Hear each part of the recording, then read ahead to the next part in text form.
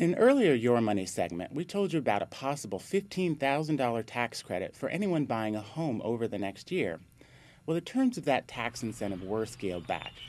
As the legislation now stands, first time home buyers will be able to claim an $8,000 credit for homes bought by the end of August.